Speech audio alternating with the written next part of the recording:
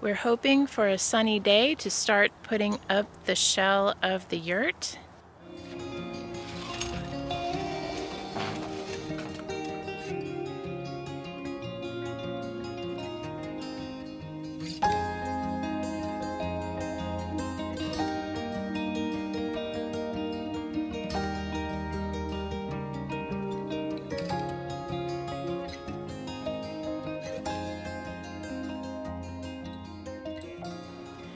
Good morning. We're hoping for a sunny day to start putting up the shell of the yurt. Charles is off picking up some scaffolding. If you're new here, welcome. You are looking at a pile of fill on the left that I've been working on for a while.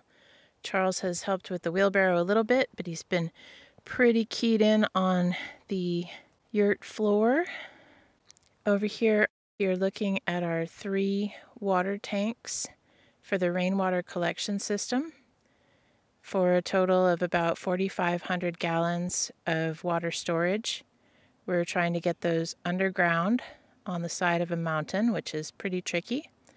And we've been burying them by hand with a shovel. We're down to the very last little bit here, and inch by inch it is filling in.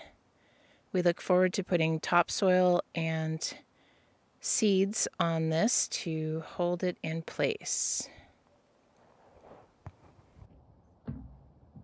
The morning fog was slow to lift and help was hard to find, but we had been preparing for this day for months and we were anxious to move on to the next step, so we decided to get started. We just dragged the Khana, which is the lattice wall, over here onto the decking. It's very, very heavy and even unpacking the yurt is going to be a feat, much less putting it up.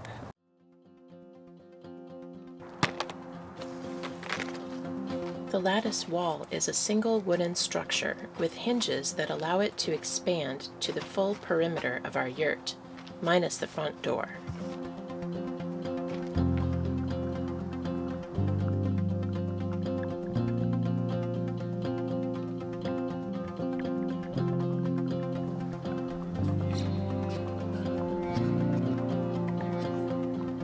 That process was not difficult for two people to accomplish. But in hindsight, we wish that we had positioned it directly across from the doorway so the ends would meet up in the correct position without quite so much adjustment.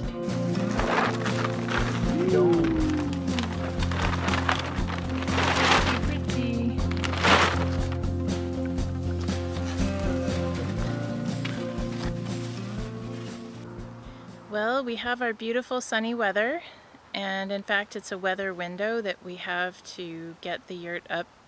They're calling for rain the day after tomorrow. So we have to get the door up because that's the very first step after putting up the khana and we can't do anything else until we get the door up. Problem is the door is in the frame and it is too heavy for me to lift. So we're trying to be inventive here wish us good luck. Fortunately, carrying something heavy is much easier than lifting it, and we were able to move it over to a few rugs on the edge of the deck. From there, we dragged it to the doorway and carefully tipped it into place.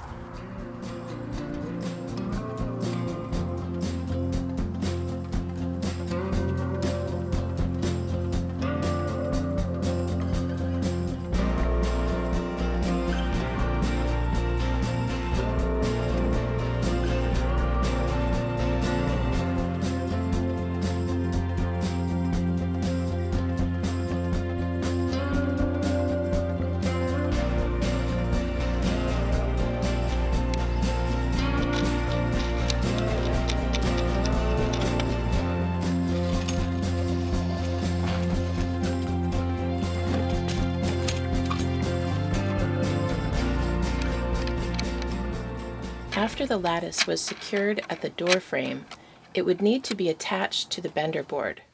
But first, the khana had to be stretched and squeezed in various places until every part of it was almost exactly the same height.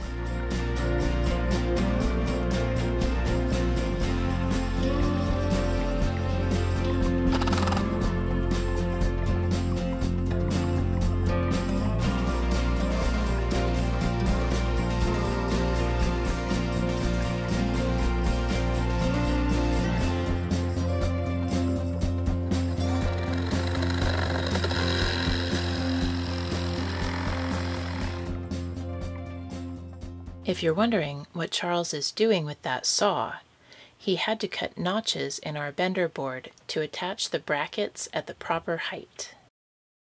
While he finished that job, I ran the tension cable through the crotches on the top of the lattice. Then I had to go over it one more time to make it tighter, and Charles muscled the two ends of it together at the hook over the door frame.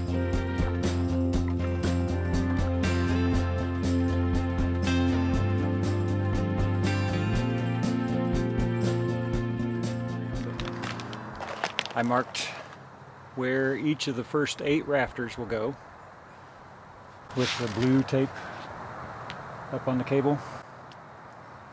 And then I marked, it's basically north, south, east, west. So I marked on the ring, I just put north, northeast in the hole that these rafters go in. So they're all, all marked and we hopefully won't make a mistake. Yeah, there are eight rafters with the snow and wind kit that have to have these metal plates on them. They screw into the rafter and then they screw into the ring so they're actually attached with more than just weight. So I got the first eight with the brackets on them so we can put those in, screw them in, and all the rest of them are, will just slide in.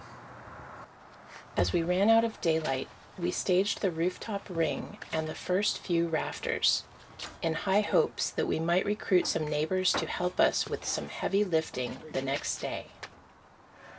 You're invited also to join us for day two of the yurt raising in our next episode.